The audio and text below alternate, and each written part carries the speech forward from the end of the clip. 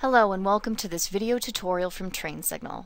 The following clip is from TrainSignal's Windows Server 2008 Applications Infrastructure course, featuring nearly 8 hours of applications infrastructure training.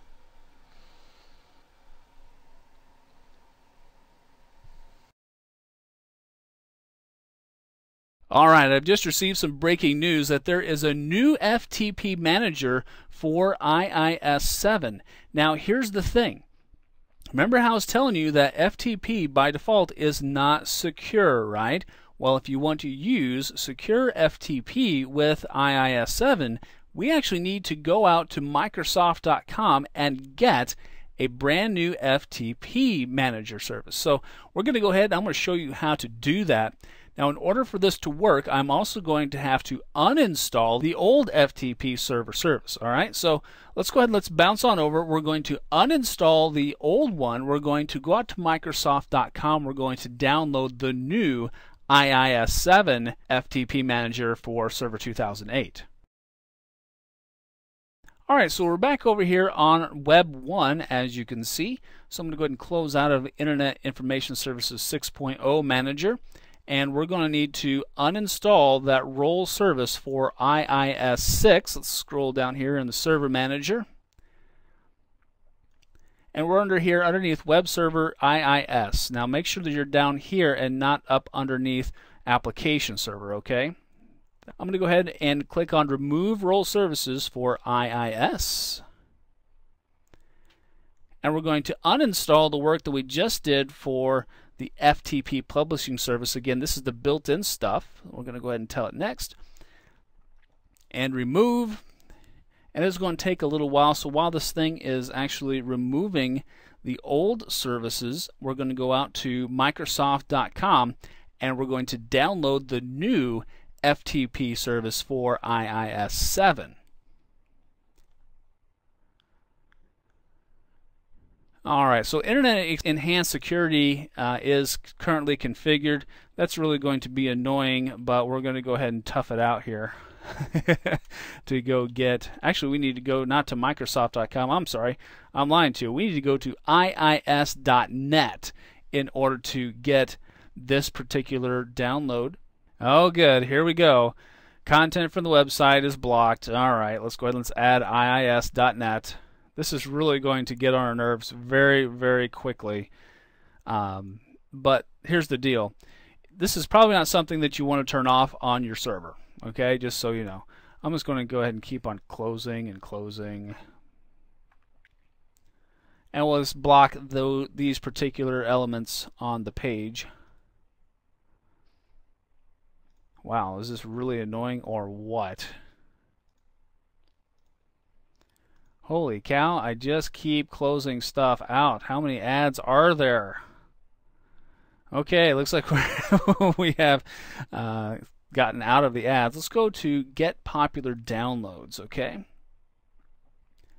And oh, look, here we go again. Ads. Oh, ads. are we going to get another one? Nope. Okay, good deal. All right, so I'm going to go ahead and scroll down the page here. And what I'm looking for is the Microsoft FTP publishing service for IIS 7. Now you notice here this is actually the 32-bit version, but don't worry about that so much because you know what, I'm going to go ahead and go to, here we go again, I'm going to go ahead and go to that page because we should find a link for the 64-bit version because we are running 64-bit editions of Server 2008 after I get through all of the ads. Holy cow. I'm going to scroll down here. Here we go. Please see the following URL for the 64-bit version. That's where we want to go to. And oh good, here we go again. More ads, ads, ads, ads, ads, and some more ads. Whew. Okay. Microsoft FTP publishing service for IIS 7 64-bit. That's what we want. Let's go and let's download this guy real quick. And it's a pretty small download, a kind of a surprisingly small download. There we go. Let's go ahead and let's save it. It's only 100 or 1.95 megabytes. We're going to go ahead and download this guy real quick. All right, we're going to save it to the desktop here, and we'll go ahead and we'll just leave the name as it is and save it down. All right, so oh, there, wow, super fast download. There we go. Let's go ahead and close that, and now we'll close Internet Explorer. And we'll go back over to Server Manager and we'll see how we're doing in terms of uninstalling the old FTP service. Well, looks like we are still removing here. Oh, looks like we're just about finished. But it does look like it's going to take maybe just a little while to collect those results. So I'm going to pause the recording, and then as soon as this guy is done, I'll come right back. Okay, it looks like we must restart the server in order to finish the removal process. So I'm going to go ahead and click on Close now.